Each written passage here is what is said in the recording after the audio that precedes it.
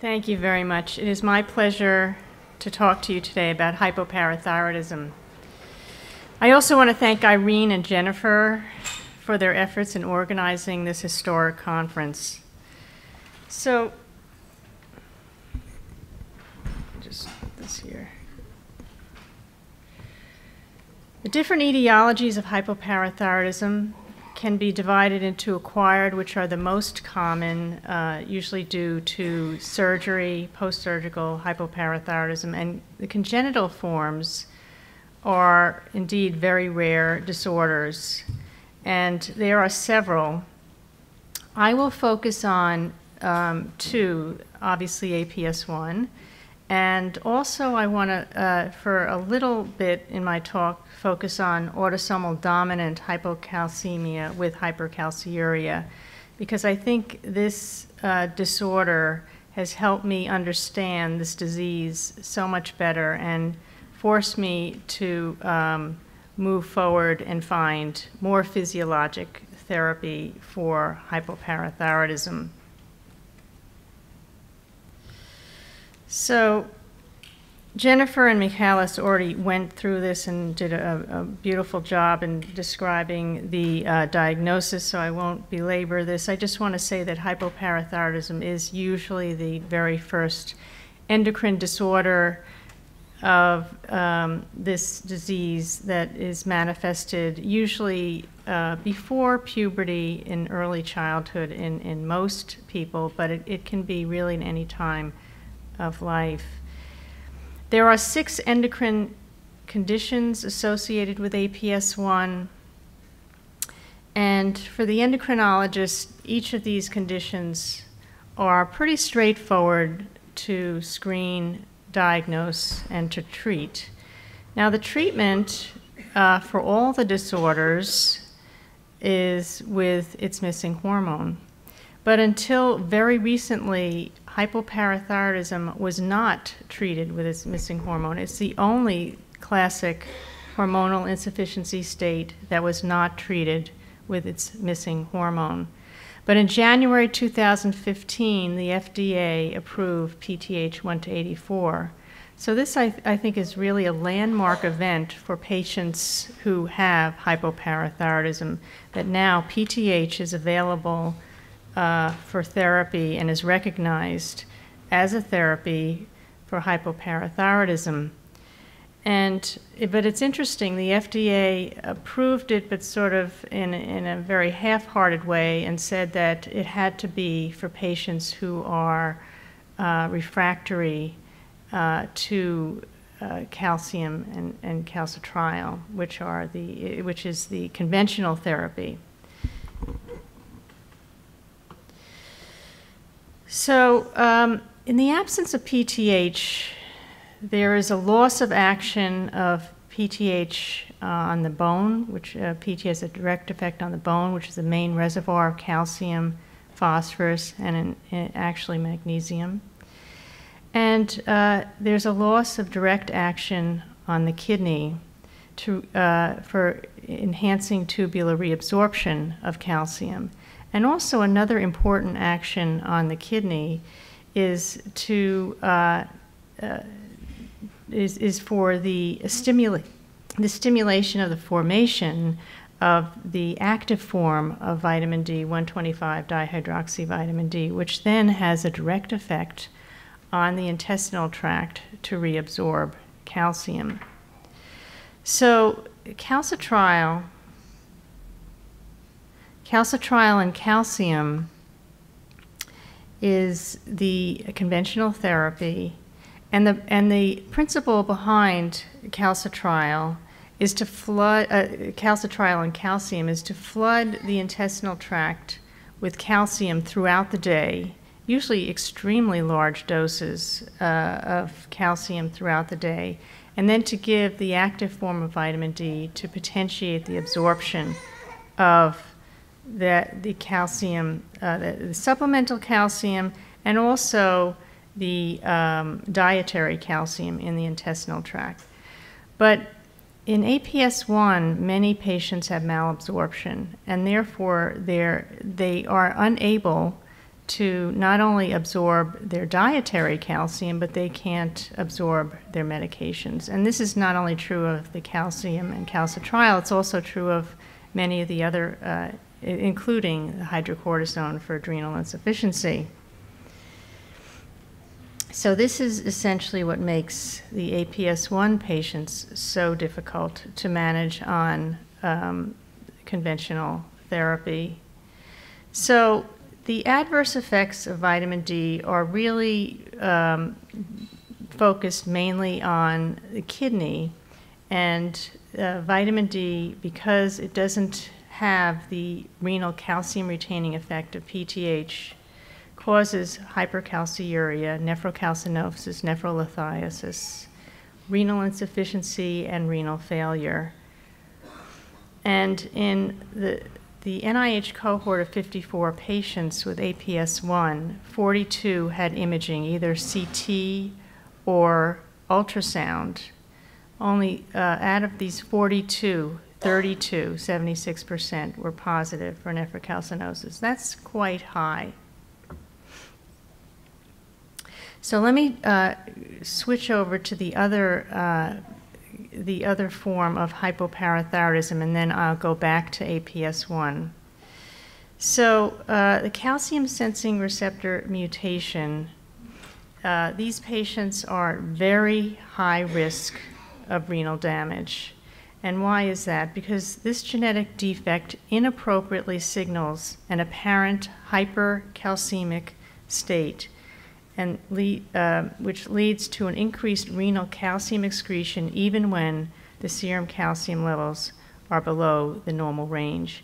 And this little insert just shows the uh, three of our patients and the calcium sensing receptor, which is a G protein coupled receptor, and where those defects, those mutations, are located on, um, in the receptor itself. So, just going back to the physiology um, for a second, the calcium receptor can be found in many areas of the body, including the parathyroid gland, the bone, the intestine, but for this disorder, most importantly, the kidney. And this receptor, which is locating, located in the thick ascending limb, of the kidney is um, the what really causes the the most problems for managing this disorder because it's um, this this this um, receptor in its disordered state and activated form that senses a higher level of of um, serum calcium than really exists, so it senses an apparent hypercalcemic state, and therefore there's massive amounts of urine calcium even when the patient has very low serum calcium. So out of my 23 patients with this disorder, and this is a very rare disorder, 96% had nephro, only one did not have nephrocalcinosis, and that was a uh, the daughter of one of my patients, and then um, I, this is when I first met her, but followed her for a couple of years uh, on calcitriol and, cal- and uh, calcium, and then she developed nephrocalcinosis when I admitted her to my study. So essentially, at baseline for study, it's truly 100 percent Four of these patients had renal failure when they came to me, and they didn't even know they were in renal failure. And these were young patients, they were in their early 20s. And this uh, just shows that for any given, um, the bottom panel shows that for any given uh, serum calcium, level of serum calcium, the uh, calcium receptor mutation patients, which are shown on the right, th these are mean uh, urine levels, will always be significantly higher than the acquired hypoparathyroidism. So we compared the calcium receptor mutation with the post-surgical hypopara patients, and we gave them PTH, and we thought that this would solve the problem. We looked at once daily PTH and we looked at twice daily PTH. And you can see with the post-surgical uh, is in the, in the red and the calcium receptor mutation is in the blue. And you can see on the top panel, once daily PTH is just not effective. But twice daily looks pretty good. And this is where you want to keep the calcium in pretty much most of the patients with hypoparathyroidism in the low normal or just below the normal range. And in this disorder, you certainly want to keep it just below the normal range. So this looked like it was an effective therapy. But then we looked at the urine calcium, and you can see on the right panel, the urine remains elevated, even though their calcium levels are below the normal range. So again, even twice daily PTH was not affected, effective for the calcium sensing receptor patients. So as I said, the, um, the problems that we encounter with, with these uh, cases of uh, congenital hypoparathyroidism are a mere magnification of problems that we encounter with all patients with hypoparathyroidism. And we all agree, anyone who takes care of these patients agree that effective management involves the um, normalization of calcium in the blood and calcium in the urine. And this can be a lot more challenging than it appears. So, why do we run into trouble with uh, PTH therapy. You'd think that PTH would solve this problem. And uh, the answer is if you look at the direct effects of um, PTH, parathyroid hormone, given subcutaneously once a day on the kidney, we see the, the typical response that we've all known for forever, really, uh, that you get a phosphaturic effect. The, the uh, phosphate in the urine goes way up, cyclic AMP goes up, and the calcium excretion goes down. You get an in increased tubular reabsorption of calcium. But if you look at the calcium a little bit more carefully, you see it's biphasic, and it initially goes up. And it's um, in this, uh, this initial increase in urine calcium excretion that is clinically significant. Because if the PTH dose is large enough, this period of time uh, can be more prolonged and the urine calcium excretion can go above the normal range. And these periods of hypercalciuria, even on PTH, uh, even though they're intermittent, can cause um, nephrocalcinosis and nephrolithiasis over time. So the question is, how, how can you remedy this, this uh, problem? The, the data I just showed you was on once, once daily PTH, which requires higher doses of PTH given once daily. But if you, re, if you increase the frequency of the injection, you, you can thereby reduce the dose. And with reducing the dose, you can reduce the level of calcium excretion.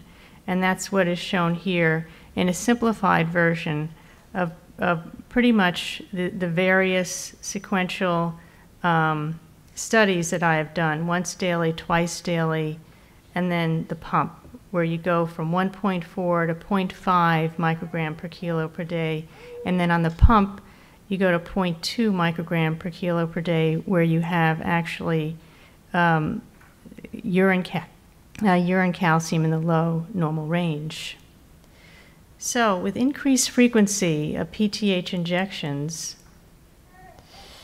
you have reduced daily dose in most cases by 50 percent decreased urine calcium excretion. And this is what one would, would aim for. But what about uh, PTH dose effect on the bone. And this is the other area that PTH has a direct effect on in the bone. And so one has to normalize uh, the homeostasis, the calcium homeostasis in the bone as well. So, as one would expect, giving, giving PTH uh, raises uh, the markers of bone turnover and because it has a direct effect on the bone. And these markers we found uh, remain elevated for three years. And this is in adult patients over three-year period obtained every six months. And this is compared to calcitriol, which really does not have any direct effect on the bone. It doesn't enhance uh, the bone turnover, so you don't have a rise in markers of bone turnover. But does this have an effect on the bone density? That's an important question. So, looking at DEXA scans uh, over time, every six months, uh, the the uh, data obtained while the patients are on PTH is in red, and you can see there is no uh, significant rise or fall in bone mineral density or bone mineral content over the three years. And this is for adults, this is a very good result. This is what you want. You do not want a net rise or gain in adults with uh, BMD or BMC. But uh, comparing our data on the left, which is actually titrated, we titrate to normal calcium levels and urine calcium Compare, comparing this to others, uh, Natalie Cusano's group in New York, they uh, gave PTH 1 to 84 at higher doses but more intermittently. Um, the, the PTH 1 to 84 was given 100 micrograms every other day, and this caused an anabolic effect on the lumbar spine over four years. And in this, this group of patients, the uh, adult patients with hypopara who already have um, elevated levels of BMD and BMC, this is not an optimal result. So, as in as we saw in the in the uh, urine, does increasing the frequency and decreasing the dose of PTH also have a direct effect on the bone, and it turns out it does. So as you go from once daily to twice daily, then to the pump, you can see that the markers of bone formation, which are alkaline phosphatase, goes from way above the normal range to the high normal range to the mid normal range. So over the two, past two decades, we have tried um, in, with various studies to make this therapy, PTH replacement therapy of hypoparathyroidism, more physiologic. And um, it wasn't until we um, decided to use the pump that we felt that we had achieved a, a true physiologic replacement therapy. So, what is normal PTH uh, secretory dynamics? What, what, what is normal physiology? And you can see here um, the, this is a normal person without hypoparathyroidism, uh, with, and this is a simplified version. This is um, actually done uh, to show you uh, sort of what the pattern is. And these are ionized calcium levels over um, a three hour period. And it shows that there are these oscillations. I hate to call them spikes, they're oscillations, they're pulses of PTH, usually about three or four per hour, depending on uh, what the stimulation is. And, and these pulses coming from the parathyroid gland are um, in response to um, lowering and minute change, very minute changes of ionized calcium in the extracellular fluid. But when you give this person IV calcium, you can see there's an immediate drop of the PTH levels. Uh, but the PTH never goes down to zero. There's always tonic secretion of PTH. So uh, the normal physiology is that there, there is a basal tonic secretion of PTH with a superimposed um, pulsatile uh, secretion of PTH. And the insulin pump, and we use the Omnipod by Insulet, is probably the best, and this is, there are many insulin pumps. I'm not saying the Omnipod is necessarily better than it. They're all excellent for this, but the insulin pump is the best way to mimic the parathyroid physiology. So what we did was we put PTH in the reservoir instead of insulin. Other than that, we did not alter this pump at all. And the reason I use the insulin, the Insulet pump, the Omnipod pump, is that there's there's no um, tubing, and so I was afraid that the PTH would stick to the tubing that you have, say, in the Medtronic insulin pump. So this is an example of the lowest um, rate, basal rate, that I have given uh, to one of my post-surgical patients. So I initially did this in adults with post-surgical hypoparathyroidism. So otherwise healthy adults who happen to have had surgery, most of them had surgery on the thyroid, and therefore were rendered hypopara. And so the way this works is that for the at the NIH we use synthetic human parathyroid hormone. We did not use recombinant parathyroid hormone, which is Forteo.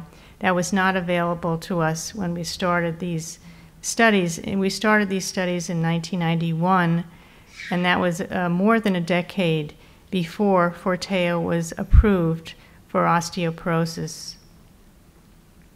So, um, for the uh, concentration of PTH, which is 200 micrograms per ml, each of the microboluses that are delivered in this pump were invariant. They're 0.1, very small, 0.1 micrograms, and the, the actual magnitude of the microbolus does not change. But the interval between the microboluses do change. And it's these intervals that, uh, that, that um, actually determine the basal rate.